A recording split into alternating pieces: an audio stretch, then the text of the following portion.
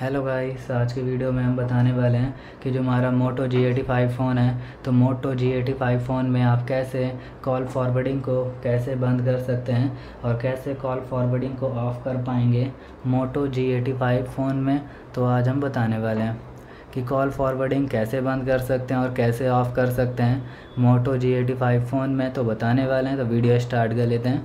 तो आप देखते हैं आइकन शो हो रहे हैं तो आपको स्वाइप करना है। स्वाइप करते ही ऑल आइकन्स ओपन हो जाएँगे। इसमें से आपको जाना है सेटिंग्स पे। क्लिक करते ही फ़ोन की सेटिंग्स से सॉरी बैक करते ही फ़ोन आइकन्स पे जाना है। तो फ़ोन आइकन्स ओपन हो जाएगा, जहाँ से कॉल फॉरवर्डिंग को स्टॉप कर सकते हैं, इस पर जाना है। सेटिंग्स पे जाएँगे, फिर आपको कॉलिंग अकाउंट पे चले जाना है, फिर जियो अकाउंट सेटिंग्स पे चले जाना है। जहाँ से आप अपने फ़ोन में